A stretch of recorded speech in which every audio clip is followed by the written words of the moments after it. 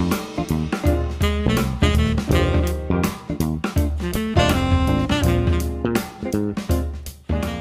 so let's go ahead and invoke the presence of the Holy Spirit as we begin the second half of lesson two. In the name of the Father and the Son and of the Holy Spirit, amen. Come, Holy Spirit, and fill the hearts of the faithful and kindle within us the fire of thy love. O Father, please send forth your Spirit, and we shall be created, and you shall renew the face of the earth. Let us pray. O God, who by the light of the Holy Spirit did instruct the hearts of the faithful, grant by that same Holy Spirit we may be truly wise and ever rejoice in your consolation through Jesus Christ our Lord. Amen. Once again, St. Thomas Aquinas, pray for us. In the name of the Father and the Son and of the Holy Spirit. Amen. Okay, so we left off with proof four in this particular seminar, which was the second way of Aquinas for coming to the knowledge of God's existence. That second way being the argument from causality, or the proof of the uncaused cause. The first way of Aquinas was the proof of the unmoved mover, argument from motion or change, arriving at this first primary mover, which is pure actuality, which cannot be moved itself, i.e., God. Now, for the fifth proof of our seminar, which is the third way of Aquinas, hopefully you can keep that straight here, and, and that is the proof of the necessary being or the argument from possibility and necessity. And there are three basic steps to this proof. First step is, as always, defining our terms. What do we mean by a necessary being? And contrast that with a possible being. What do we mean by that? Well, a possible being is a being or beings that do not have to be. Their being, their existence, in other words, is not a necessity. In other words, their non being is a real possibility. So philosophers refer to them as possible beings. Once again, it's possible for them not to be. It's not necessary that they exist for other things to exist, right? Um, their non being is a real possibility. So, for example, we see, we experience, our common experience is that some things go out of being, they go out of existence. So, you have a star, right? Uh, do stars, right? Our stars, the sun. Do stars, do scientists tell us that stars, do they go out of existence? Yes. Okay, they can eventually go into non being. What about a tree? Can a tree, is it possible for a tree not to exist? Yes. Is its non is its non-being possible? Yes. So these are possible beings, possible realities. All right? Now, things that are possible beings, if it's possible for things not to be, if it's possible for those things to go into non being, well, then, as Aquinas asserts, then it's possible that they came from non being. If anything can go into non being, well, then it could have come from non being.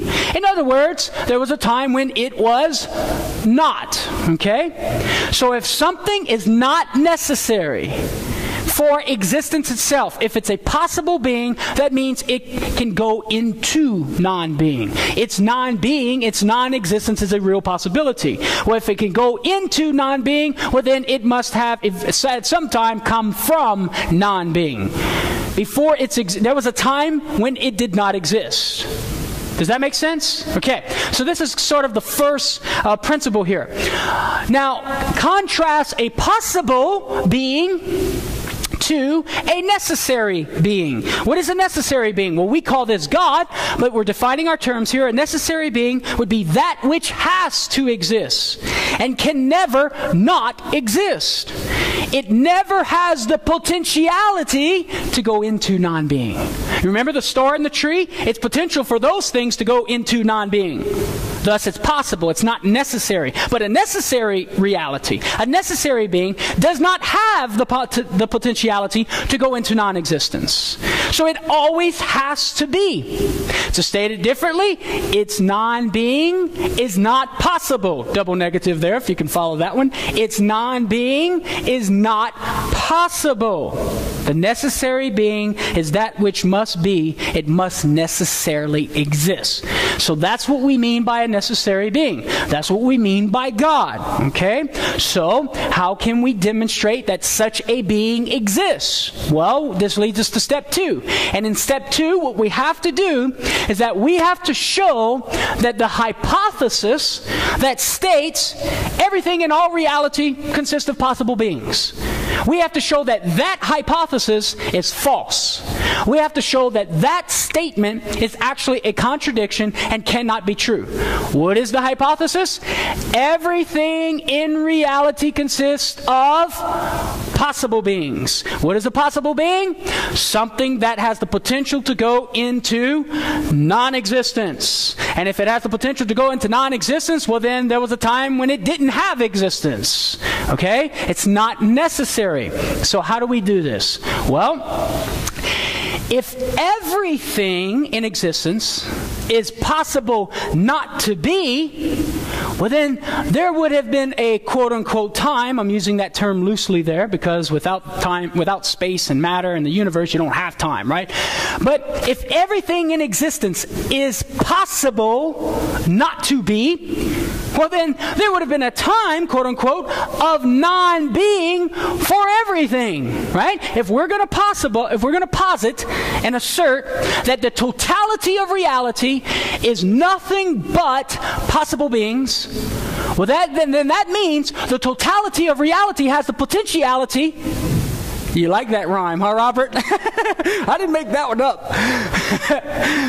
if the totality of all reality has the potentiality to go into non existence, well, then the totality of reality was at one time non existent, in non being, when there was nothing, right? Now remember, the atheistic worldview denies the existence of a necessary being.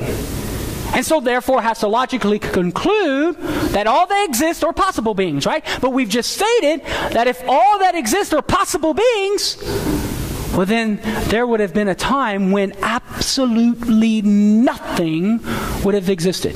There would have been absolute non being. And as we've already seen before, can you get something from absolute non being? No. Why? Remember, you can't have the movement from potentiality to actuality without something that's in a state of actuality. Now, as we look on the diagram here, before the totality of reality of possible beings came into existence, it was potentially existing, right? And if if there is no God, if there is no necessary being, well, then, can this totality of reality of possible beings come into existence from absolute potentiality? No, because it can't move itself. To look at the argument from causality, can it cause itself to exist? No, because you can't give what you don't have. Remember last week? Pull out the wallet, try to give you a $100 bill, no go. Why? Because I ain't got a $100 bill. I ain't even got a $5 bill. Oh, okay? Because I'm a broke man. But we see that if we assert that all that exists are possible beings, no God, no necessary being, well, then you're going to have to logically conclude that there was a time, quote unquote, of absolute nothingness, absolute potentiality. And if that were the case, would there be anything now? No. And so, therefore, we see that it is absurd to say, it is false, it is contrary to reason to say that everything in all reality consists of possible beings. And so, what's the conclusion?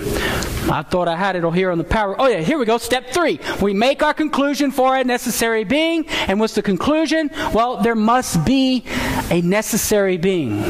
We cannot say that the totality of reality consists of possible beings, so therefore there must be at least one necessary being, that which must exist, that which its non existence is not possible.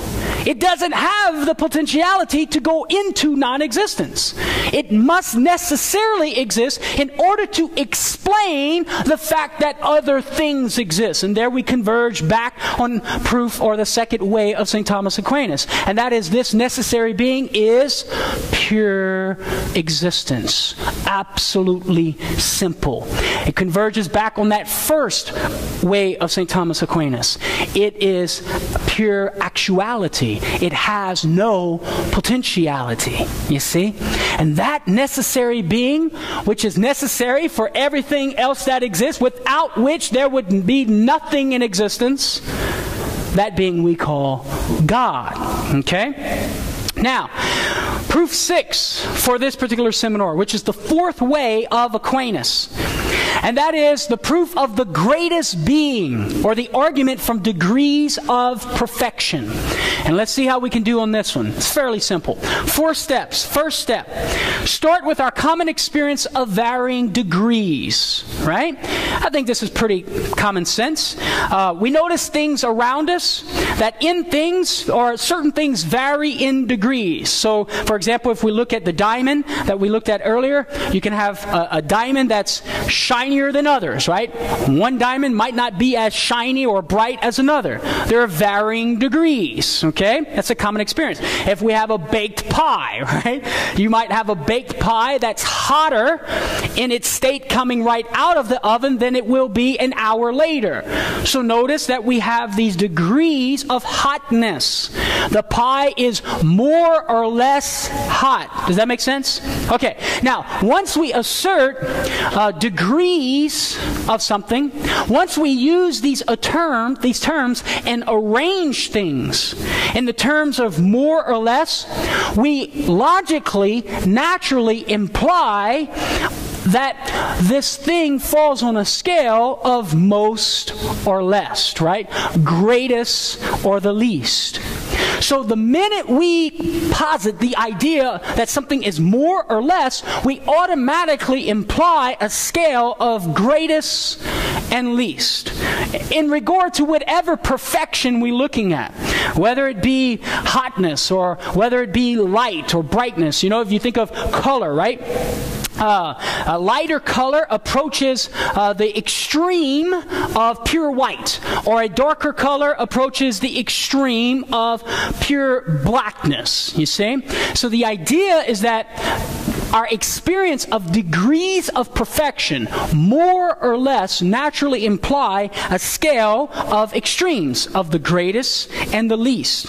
So if we have something that is more or less hot, that degree of hotness will be determined by its distance from the source of heat.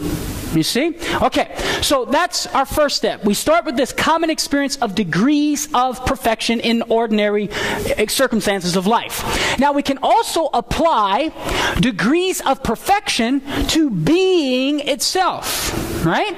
So, for example, and this is step two, by the way, applying degrees of perfection to being. For example, it is better to have being than non being, right? So being is higher in degree of perfection than non being, nothingness, okay? Being is better than nothingness. Now, as we go up on the scale, we see that an intelligent being is greater in perfection than a non intelligent being, contrary to what some people say out there, right? Uh, an intelligent being, a human, is greater in the scale or on the scale of being than a rock which is non intelligent, right? Okay? Or even an animal. Even though it has sensory knowledge, it does not have intellectual abstract knowledge. And so the intelligent being who knows and who loves is higher on the scale of being than a non intelligent being. So we see that as we go on the scale, as we say something is more perfect than other things, more good than other things, we imply the scale of approaching greatness or the greatest in being, you might say, right? So, this leads us to step three, and that is to prove that the series of caused causes of the perfections cannot go or regress infinite in an infinite series. So we look at our our chart here, right? Because perfections exist in beings themselves. And if that being is a is a caused being, right? Well then that being that has the perfection must receive its perfection from a higher being with higher perfections. Does that make sense? Okay, so let's start with some reality which is simply limited in degrees of perfection. Well, that reality, as you see on the chart, uh, must be caused by a something else, right? That's higher in being and has a higher degree of perfection. Now, can that bottom reality there on the chart, can that reality with a restricted degree of perfection, can it exist without its cause that's higher in the degrees of perfection? No. Well then can can that so let's call that CC1, cause cause 1. Can that cause of a higher degree of perfection, can it exist without another cause causing it with a higher degree of perfection? No. Can that CC1 exist without the higher being of perfection, CC2 CC2? No. Can CC2 exist without CC3? Can CC3 exist without CC4? No. So even in this argument, we see that you cannot regress infinitely in the degrees of perfection because you have to constantly look to one above it for a higher degree of perfection in order to explain the existence of the degrees of perfection in the reality that we're looking at, right? And because an infinite series is always one more that can never be achieved, right? It just keeps going on and on and on and on. So no matter where we're at in the series, can we ever come to a degree of perfection? No. Would degrees of perfection even exist? No. Because the higher being with higher perfection is never going to exist because it relies on something else beyond it, which can never exist because it's going to rely on something else beyond it, and that goes in infinitely, then you have no perfection whatsoever, right? So in this step three, we prove that you cannot regress infinitely in the series of causes of perfection.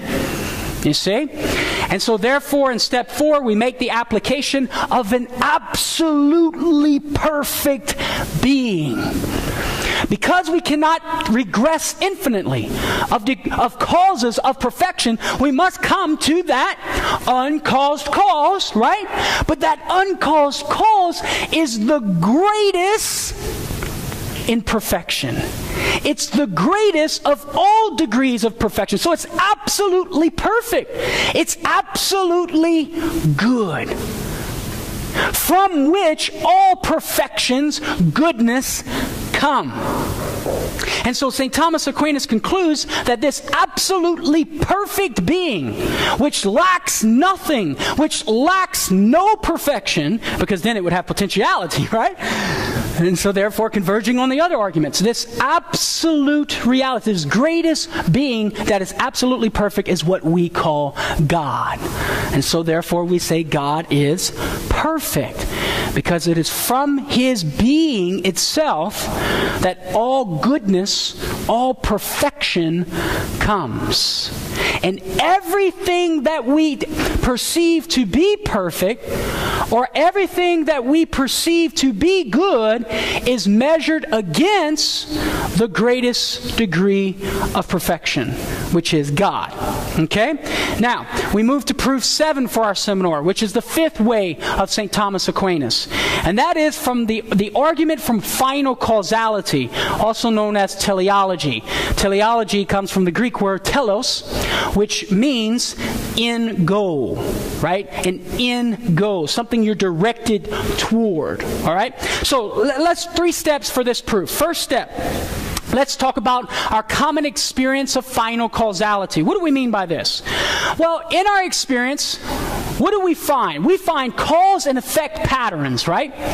We find certain things that have a sort of embedded goal directedness. There are goal oriented systems.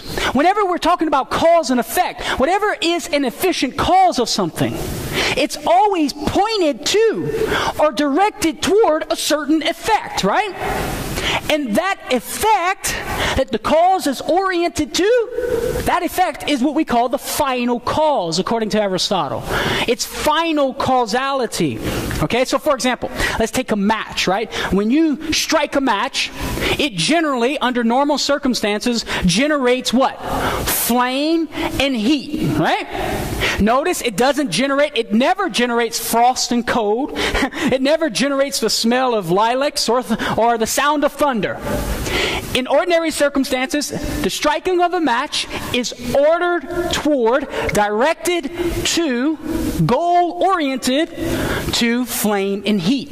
That effect of flame and heat is the final causality, the final cause, the end goal of the match itself. Does that make sense? Okay? So all we're doing right here is trying to establish an understanding or an awareness of final causality. Take an acorn, for example. What will the acorn, what is the end goal of the acorn? What is the acorn order toward by its very nature? To become an oak tree, right? And then once again, here we get into potentiality and actuality, right? But the point is, is that it's ordered toward, it has an end goal of an oak tree. That's the final cause. So that's what we understand by final causality. Goal-oriented systems. Goal-directedness. Embedded in the very nature of things. Now we move to step two final causality demands intelligence. Why so? Okay, well, the effect or the end goal of something, right? Cannot be achieved unless it in some way already exists. But if it can't exist in reality, I'm starting with the theory here, then we'll flesh it out with the examples, all right? The goal or the effect cannot be achieved unless it in some way exists. But it, it doesn't exist in reality yet because it hasn't occurred. So, where's the only other place that it can exist in order for that thing to be oriented toward the effect? It must exist in an intellect, it must exist in an intelligence. So, for example, let's look at the house and the construction worker, right? The end goal of the act of constructing a house is a house. That's the final cause for the house builder. But that final cause, the house, can, could not be achieved unless it did not first exist where? In the mind. The house doesn't exist in reality yet, obviously, it has to be built, but it has to in some way exist, at least as an idea in the mind, in order for the builder to direct his work toward the final cause of a house. Okay? So we see this principle that final causality demands intelligence. An effect or the goal of a goal oriented system cannot be achieved unless it first exists somewhere, at least as an idea in an intellect. So, like for example, the acorn. The end goal of the acorn is the oak tree. Well, the oak tree could not be achieved, the acorn could not be directed toward the final cause of the oak tree unless the oak tree in some way existed, but it doesn't exist in reality yet, so it at least has to exist as an idea in a mind, in an intellect, which would order and orient the acorn and direct it toward the end goal. Take, for example, the match. The final cause of the match was flame and heat.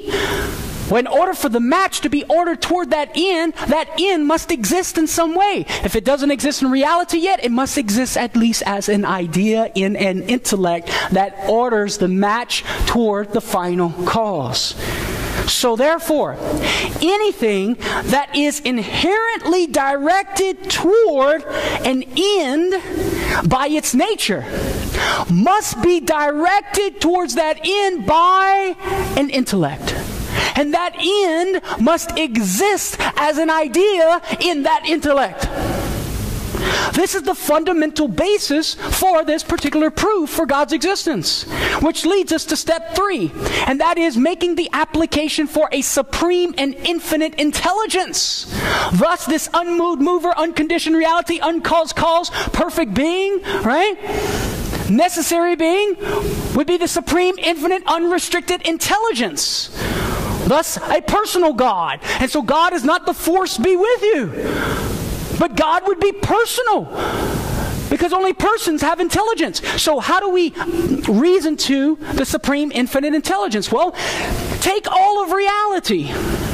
If we look at the principle of goal oriented systems to final causes, well, the totality of reality consists of goal oriented systems to final causes, right? And all of those goal oriented systems to final causes must be directed by an intellect. And all of the final causes must exist as an idea in an intellect.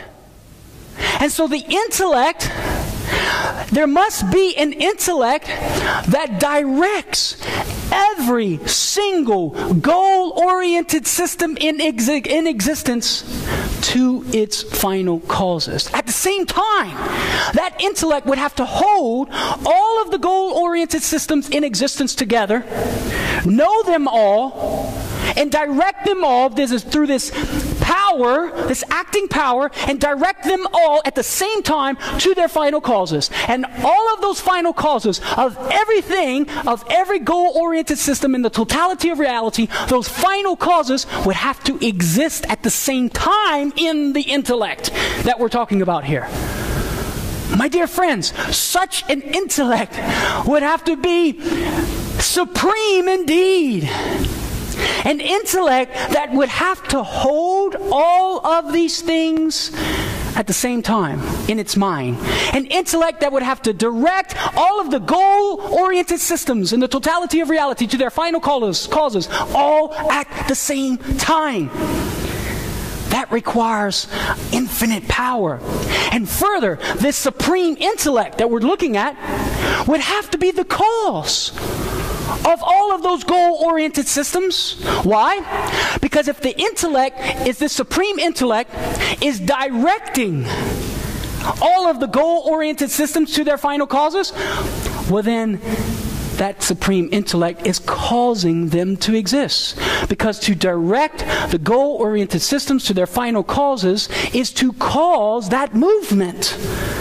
And to cause that movement, it must be the cause of those things. So we see that the supreme intellect must be the uncaused cause, the unconditioned reality that grounds the existence of all of these things in reality that are oriented to final causes. And this supreme intelligence, that's a pure act of intellection, a uh, pure act of mental activity, right? If it's pure acting power, it's pure intelligence. This pure acting intelligence is what we call God. Okay? Now, we come to the second major component of tonight's reflection, and that is a summary of the attributes of God. So, in light of the, let's see, what proof was that? Proof seven. In light of seven proofs so far, we can summarize all of the various attributes that we can come to know by reason about God. So, for example, God is pure being, right? How do we know? Well, remember, we saw that God is free from any boundaries when we looked at absolute simplicity. Because God is free from any boundaries, He cannot exclude anything else, right? God is free from all boundaries, therefore, He's compatible to everything else that exists. He's totally inclusive to every boundary stricken reality. Thus, He's pure simplicity. And if He's pure simplicity, compatible to every other existing being, He's pure being. You see? Unrestricted act of being. Next attribute God is infinite. Well, if God, how do we know this? Well, remember, God is boundaryless. So he's not restricted to any finite way of existing because to be restricted to a particular way of existing means finitude, means you're finite. And so if God is not restricted to any particular way of existing, if he is unrestricted act of being, if he is boundaryless, both extrinsic and intrinsic within himself, well then he is infinite, boundaryless, not restricted by any particular mode of existence. God is one, our next attribute. How do we know this? Well, remember the minute we try to postulate another uncaused cause or an unmoved mover and an unconditioned reality, we're going to have to differentiate one from the other. And the minute we do that, we restrict it and therefore, it's not absolutely simple anymore. It's not, it can't be the uncaused cause. It can't be the unmoved mover. It can't be the unconditioned reality. You see? So there has to be absolutely one unconditioned reality, one uncaused cause, one unmoved mover, one necessary being. You see? What was the next one?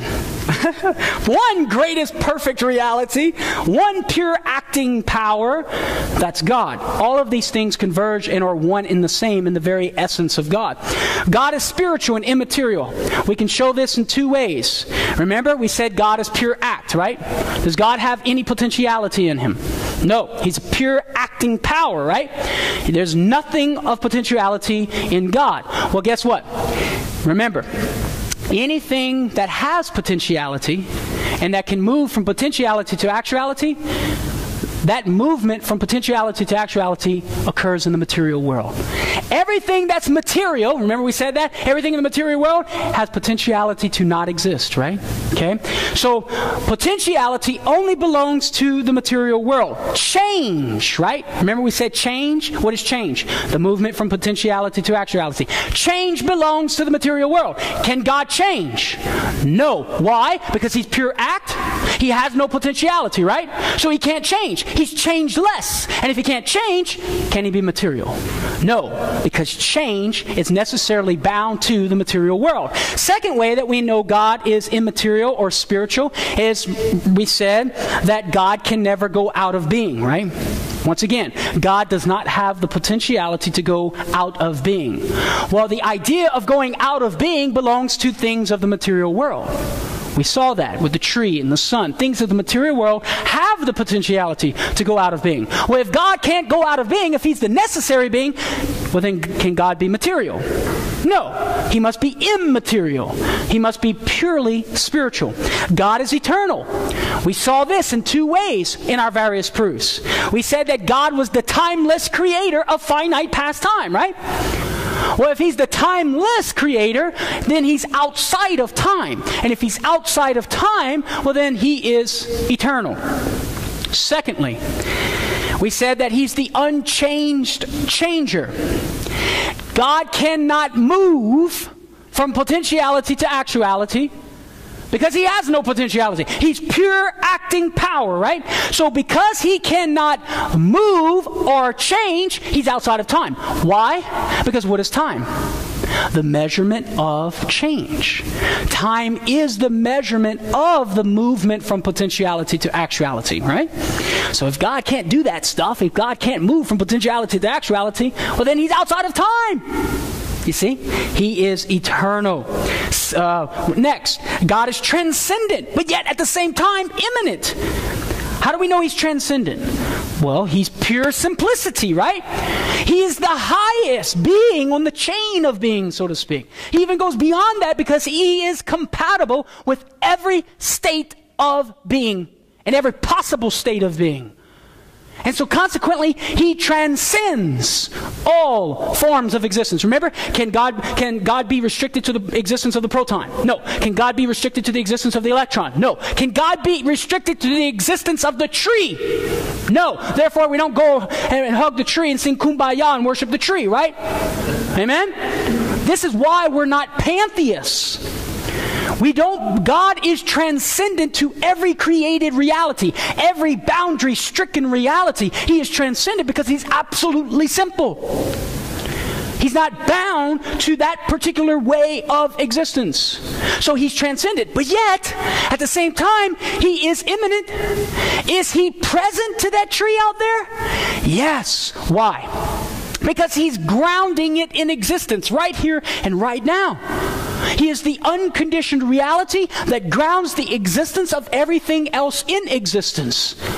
And so he is so immanent that he is, he is so close to everything because he is present to it, holding it in existence. Even the souls in hell. You know, some people often talk about is God in hell? And there's a partial truth to that. In the sense, hear me closely, in the sense that God holds that person in existence. Even that person who is definitively separated from God's love and the experience of God and the beatific vision, right? God nevertheless holds that soul in existence because he is the ground of existence. So we see this attribute of God that He is immanent, but yet at the same time transcendent. So in catechism class, in the, in the good old days when we learned that God was transcendent and immanent, now we know why. We move on. We know God is intelligent.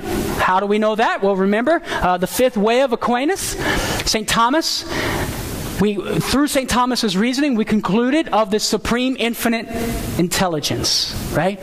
That supreme infinite intellect is the pure, pure acting power, the uncaused cause. So God is intelligent. God is omnipotent and omniscient, right? He's omnipotent because he cannot be restricted in his acting power because he's pure being, absolutely simple, he can't be restricted in his active power. So therefore, he is omnipotent. He's all powerful. Anything that's restricted in power is finite. Because God is unrestricted in power, he's infinite and thus omnipotent, all powerful.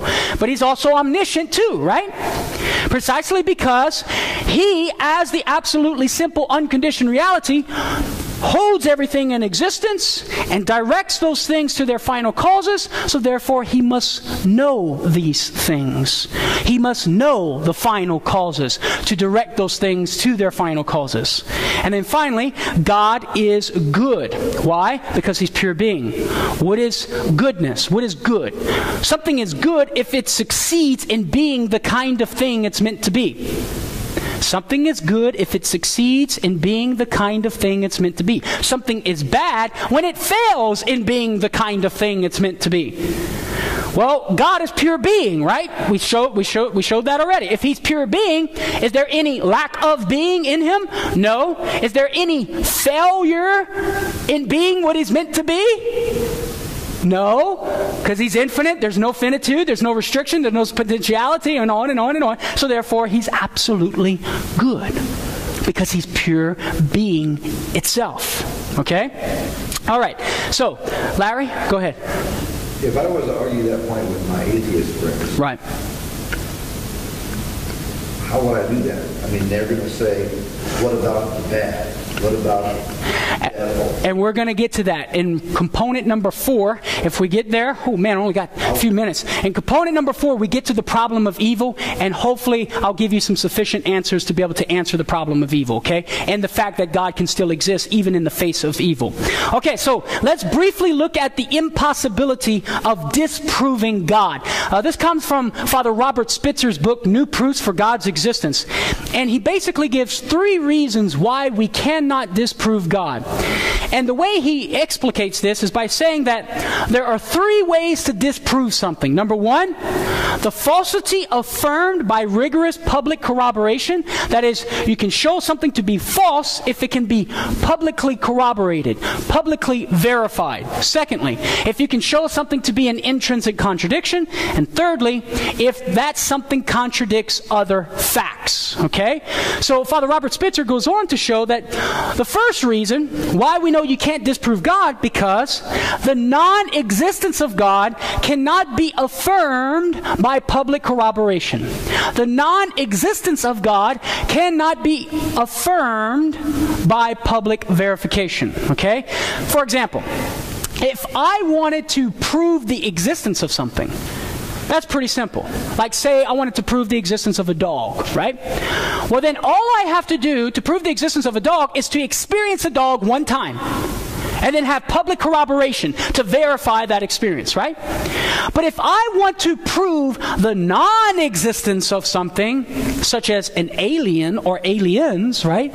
Well, then it becomes extremely, almost impossible to do so by public verification. And there are three ways. If I want to prove the non existence of aliens, if I want to prove it absolutely, there are three things I'm going to have to do. Number one, now, am I saying aliens exist?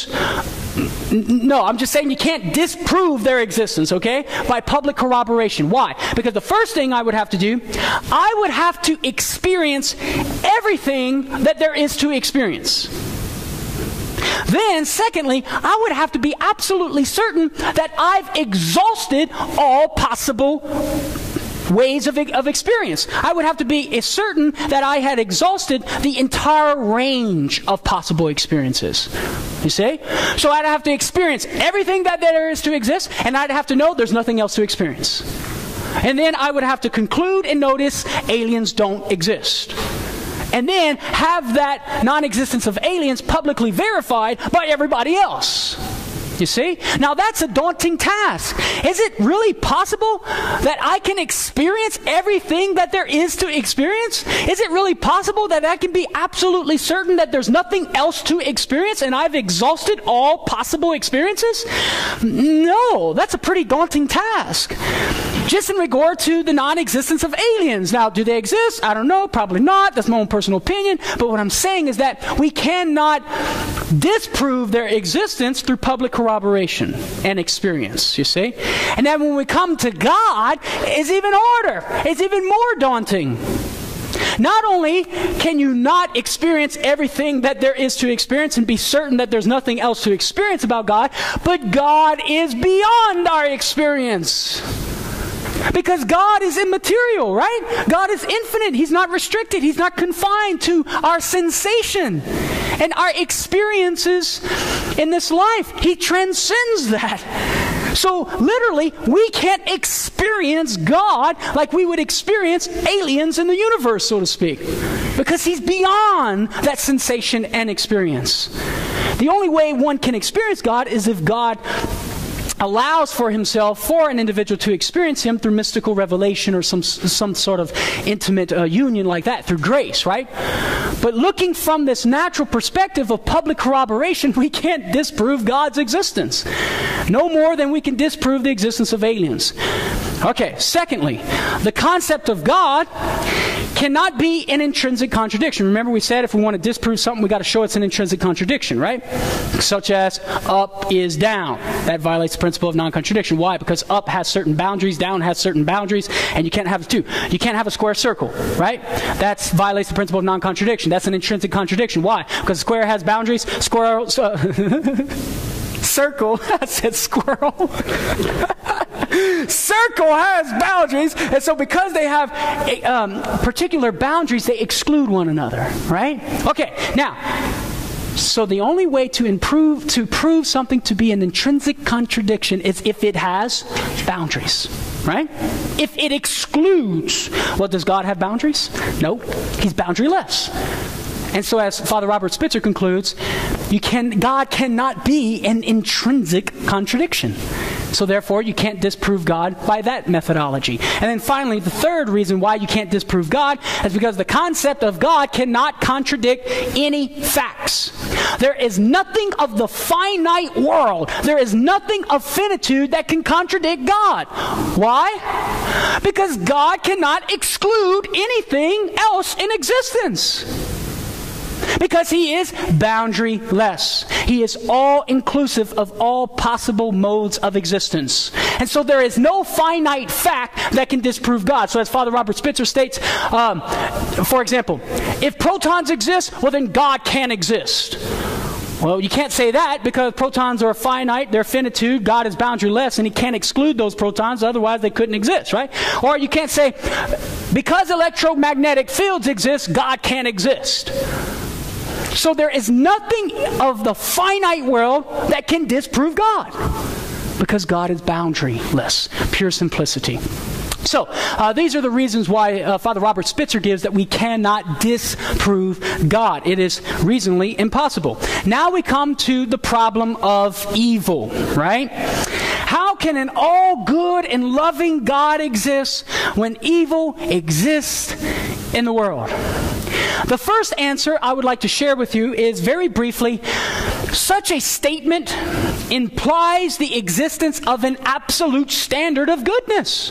The very moment you acknowledge something to be wrong or evil, you logically, necessarily imply an objective, absolute standard of goodness, which we identify to be God, right? So I find it interesting that people will use evil to disprove God when evil actually points in the direction to God. Because the minute I say something is evil, I'm saying something is what it ought not to be.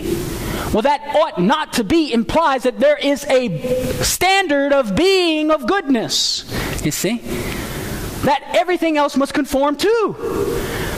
So I find it interesting that in the very acknowledgement of evil, you necessarily logically imply some sort of objective, absolute standard of goodness, which we identify in God. Secondly, a proper understanding of evil shows how God can indeed exist even in the face of evil, even when faced with evil.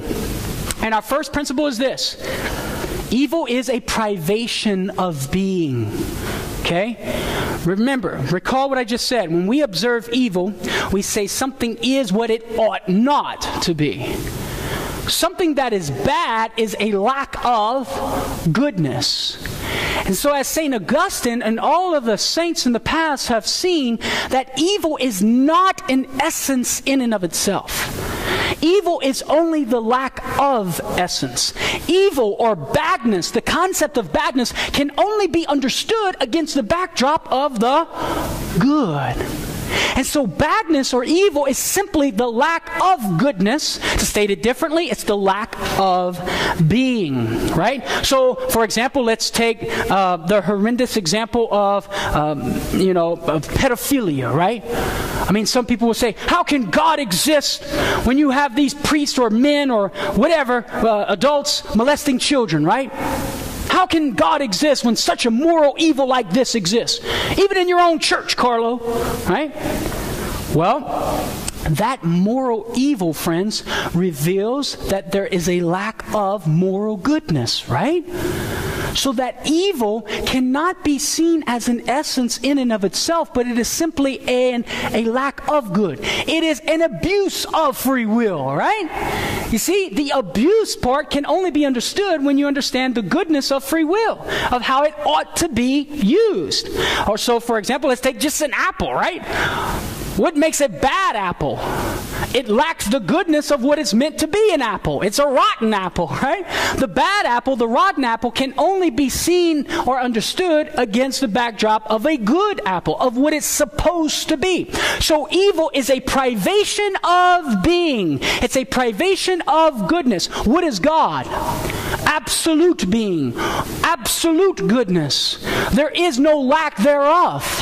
And so, therefore, any evil that we experience in this life cannot come from God because it is a lack of goodness. God is pure goodness. So whether it be moral evil or even physical evil, it's a lack of being and consequently does not come from God. So God as pure being can still exist even though there is lack of goodness that we experience in the world. Now, the second principle to understand is the origin of evil. Where does evil come from? Whence does evil come? Well, let's look at moral evil first. As we just stated, moral evil comes from the free will, right? Now, that free will is a good power given to us by the Creator, that supreme intelligent power who is all powerful, thus having an infinite will as well. The free will comes from that Creator, so it's a good in and of itself. But what is moral evil? It's the abuse of that good. It is the failure to use the free will according to its purpose. And so we see that the origin of evil does not come from God, but the origin of moral evil comes from the abuse of the free will.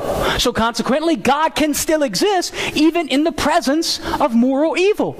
Now, what about physical evil? You know, what about the, the, the, the horrific storm of Sandy that takes place, right? What is the origin of physical evils that harm humanity? Well, that's a very good question. And in order to answer that question, we have to indeed appeal to Christian revelation. Because we actually find, according to Christian revelation, as revealed in this creation story, that the origin of physical evil that harms humanity comes from moral evil. That is the first abuse of free will of the human race. Disordering, as Christian revelation teaches us, disordering the whole of creation itself whereas things of the physical world would actually harm humanity, and humanity would suffer physical evils and the lack of perfection of physical material things. You see? So moral evil comes from the abuse of free will. Physical evil itself actually comes from the abuse of free will at the beginning and the dawn of human existence. Consequently, we find the answer to the question of the origin of evil. It does not come from God, it comes from the abuse of free will, ultimately ultimately. Now, fundamentally, the question is okay, now I understand the origin of evil comes from the abuse of free will, but how can, why does the all powerful and good God permit the evil to exist? Right? How can the evil still exist when this all powerful and all good God exists. So this leads us to answer three to the problem of evil. And that is, in regard to moral evil, God respects human freedom, folks. He allows and permits moral evil to exist precisely because He intends for love to exist. By God creating creatures with free will and the ability to accept Him, therein lies the possibility to reject Him, and thus the possibility of moral evil. And God is not going to snap someone out of existence when they reject Him. God's not going to create a creature with free will, with the ability to reject Him, and then snap him out of existence because He. Did I say accept or reject? Let me restate that. God is not going to create a creature with free will, with the ability to accept Him, and then snap him out of existence when, he, when the creature rejects him. That would be contrary to his wisdom. He creates creatures with free will to love him, which involves the possibility to hate him. And even though when those creatures hate him or reject him, he still holds them in existence. Because once he creates, he stays committed to that creation. So moral evil continues to exist because God continues to respect human freedom. Now, this leads us to answer four in regard to both physical and moral evil, and this is the fundamental answer to the problem of evil, in regard to both physical and moral evil, God allows and permits such evils to exist because He can bring about such a greater good that allows, that the allowance of evil is justifiable. So fundamentally, because he can bring about a greater good. And this is what the Catechism states in paragraph 311. Quote, He permits it, however, that is evil. He permits evil, however, because he respects the freedom of his creatures and, mysteriously, knows how to derive good from it. So there we have a summary of what I just stated. God permits moral evil because he respects human freedom. And then secondly, he permits both moral and physical evil because he can bring about a greater good mysteriously. Now the rationale behind that is that God is infinite in power.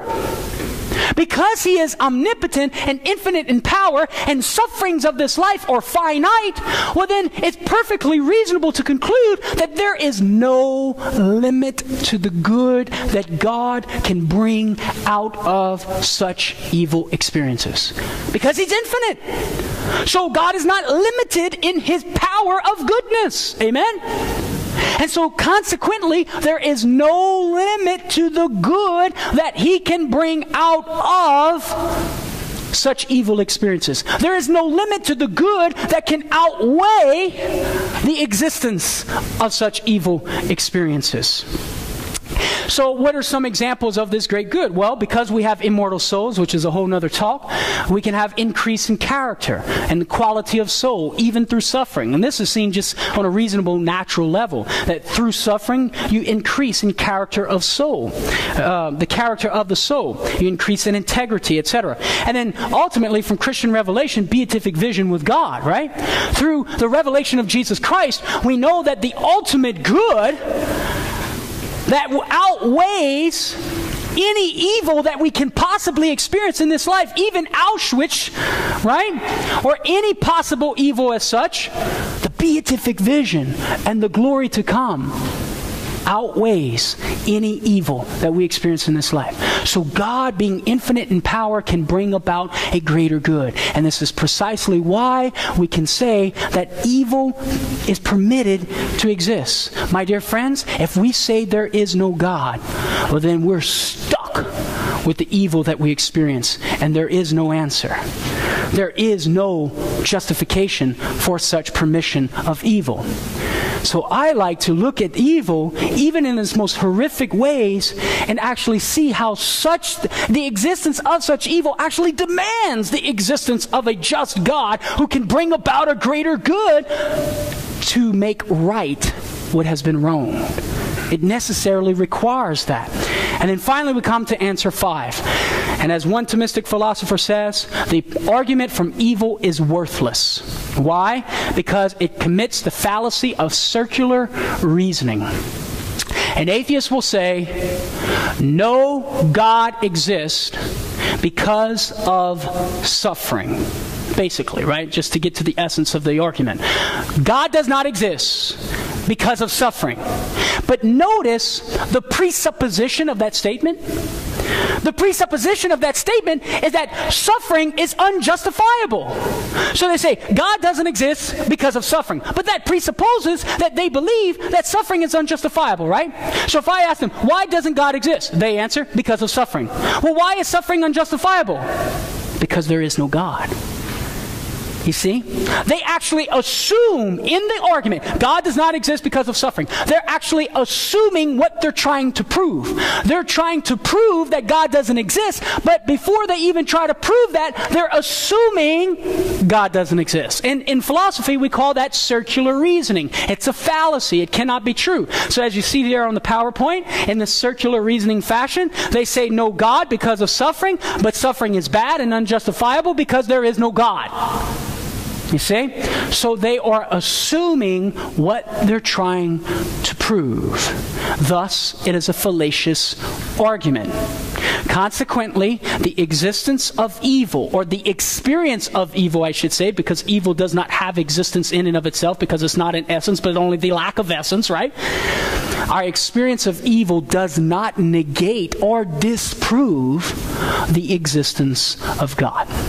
And so, therefore, we have, my friends, we conclude with lesson two of our case for God's existence, where we have gone through proofs three through seven in this seminar, which constituted the five ways of St. Thomas Aquinas, as well as looking at how uh, we cannot disprove God, looking at the summary of the attributes of God, and then also answering the problem of evil. So, hopefully, my dear friends, there is something in these two hours that you can take with you. And remember, even if it's just the cat, right, Lee? Hey, even if it's the cat, or even if it's just the light, right? And once you have that starting point, I am confident that in regard to what we've learned so far, you will be able to reason yourself to the existence of God and hopefully help others to do the same. Let's close with prayer in the name of the Father, and of the Son, and of the Holy Spirit. Amen. Dear Lord Jesus, St. John tells us in John chapter 1, verse 1, that you are the Logos. You are the Word of God. You are pure reason itself. We ask that our intellects may be always stimulated by your grace so that we can come to know you and live out the Imago Dei. We are made in the image of reason and love. And so may we use our reason and use our will to love in order that we may live out the image that we're called to conform to. And so, as we continue our study, dear Lord, in regard to your existence, the existence of Almighty God, may we come to know you more, which will hopefully lead to love you more and ultimately to serve you in worship of you and the beatific vision and the heavenly liturgy and the afterlife. In Jesus' name we pray. Amen. In the name of the Father and the Son and of the Holy Spirit, amen.